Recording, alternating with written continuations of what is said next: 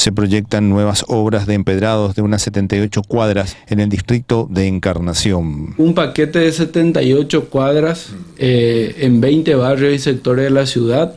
Conseguimos muy buena oferta de parte de los oferentes de las 22 empresas que se presentaron para pugnar por, este, por esta obra. Conseguimos de un estimativo de 4.500, se logró ofertas por 4.000 millones. O sea que hay un importante margen de diferencia a favor de la, de, la comuna finalmente.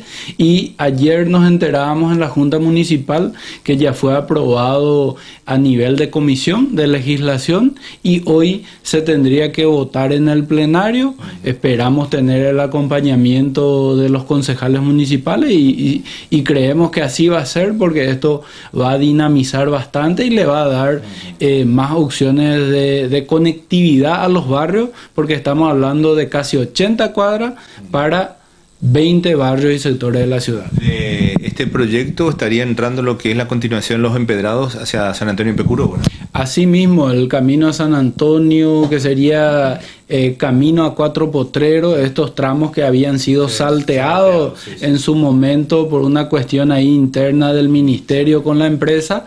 Entonces hoy vamos a completar el primer tramo más largo, que sería ya en el sector de la familia Casa, familia Chilupa, para quienes conozcan. Y después eh, casi, casi 500 metros, es bastante largo. Y eh, después queremos avanzar en un tramo cercano al de la escuela y al de la comisaría también de Cuatro Potreros. Así que tenemos esto y varios proyectos más, porque hablamos en total de 20, pero bueno, eh, realmente hemos socializado con las comisiones, eh, ellos saben ya de qué tramos estamos hablando, hay también tramos en San Pedro, Quiteria, Cabrorú, San Isidro, eh, Santa Librada, así que realmente son varios sectores que van a ser beneficiados. Muy bien. Le agradezco como siempre, ingeniero René.